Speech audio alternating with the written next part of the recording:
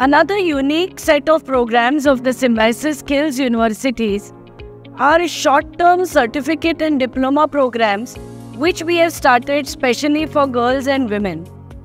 In these programs, we have partnered with the local industry who sponsor the entire training fees of the girls and women students and Symbiosis Skills Universities take care of the training as well as the placement.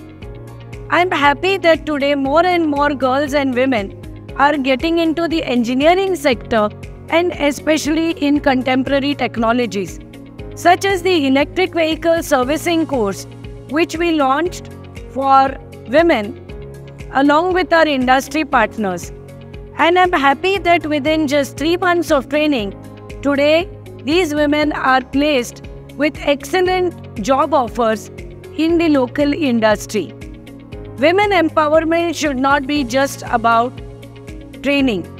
It is extremely important to train women and girls on the new technologies, especially in the engineering and manufacturing sector, which will really empower women as well as their families whom they support when they get excellent jobs in the local market.